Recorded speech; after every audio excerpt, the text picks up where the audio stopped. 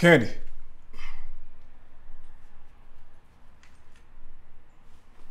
Candace.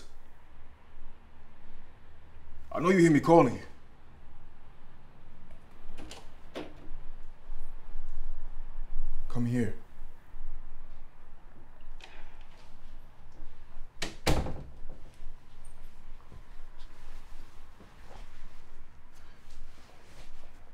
Where's my mom's photos? And where have you been? Candace, stop playing with me. Where are my mom photos, yo? So, not only did I call Michelle, right? Mm-hmm. But I called your father as well. And guess what they both said, Brian? They both said you didn't come by last night. So where were you then? Hmm?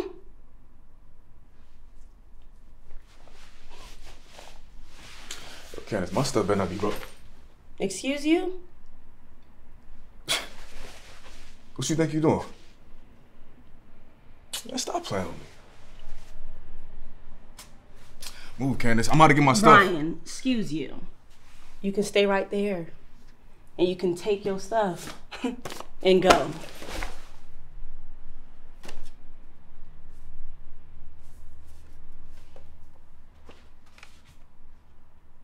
Really, Candace? Over some petty little lies. Brian, if it's not petty, tell me where you were last night. Oh, come on. Exactly. That's what I thought. So get your bags and that. You leave. can't make me leave, I Candace. can't make you leave. Whose name is on the lease? Say it. Candace Brown. Okay? So you need to get up out of my house that I pay the rent for. And you need to go before I make somebody leave you. Did you did you hear me? Or is something going on? You know, as a matter of fact, give me my keys.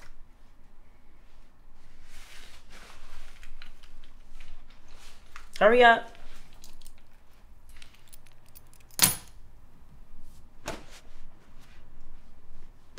So that's what you really doing, huh? Get out of my house, Ryan. Get your bags and go. This is the last time I'm gonna say it. After five years, Candy. Don't give me that, Ryan. Okay? Because I done did everything for you after five years, and what did you do? You did Michelle. You did a baby. And you're gonna do Nicole. And I already said that was the last time, so get your bags and go.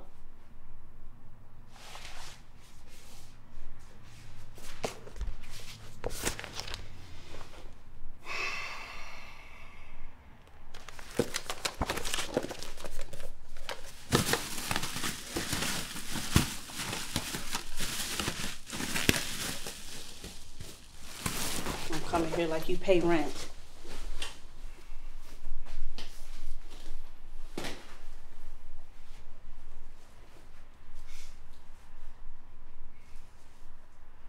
I'm gonna be back tomorrow to get the rest of my stuff. Back where tomorrow? Your stuff will be in a bag at your dad's house, where you're always at with baby Michael, right? Yeah, exactly. Leave my place. All I know is my mother's stuff better not be broken when I get back, Candy. Brian, all I know is you need to get out of my house. Yeah, go ahead.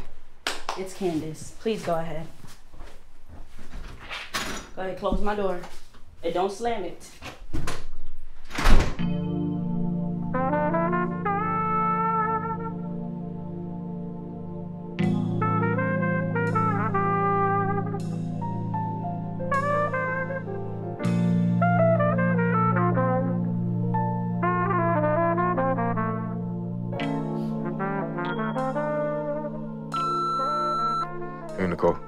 It's Brian. Look, I've been thinking about you a lot lately. And uh, the other night, I even had a dream about me and you. and how we spent our day together.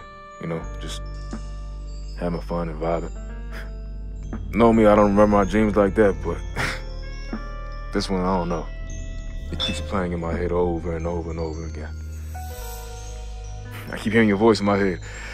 I found him who my soul loves, and I held him and when I let him go. him go. Anyway, look, I, I need to stay with you just for a little bit. Um, my roommate situation getting too too crazy, and uh, I think I just need to walk away.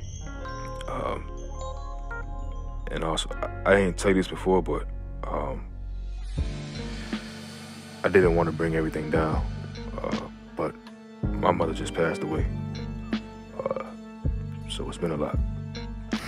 You know, it's like that poem. you really have been my most intimate listener. Look, I know you're at work right now, and um, hopefully I can come see you once you get off. Maybe. Uh, call me back when you get this, all right? Bye.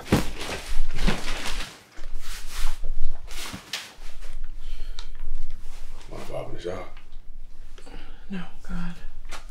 No, thank you.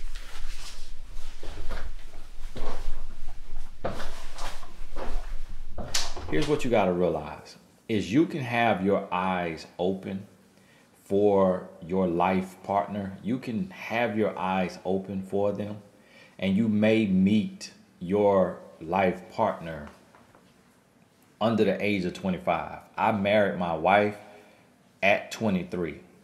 Um, I had just turned 23. So basically, you know, 22, of 22. I had just turned 23. I had only been 23 for three weeks. So I was still young. I met her at 21. At 21, when I met her, uh, two or three months in, I ran her off. And we were apart for six months. She called it a break, but I think really she was done. We just so happened to link back up six months later.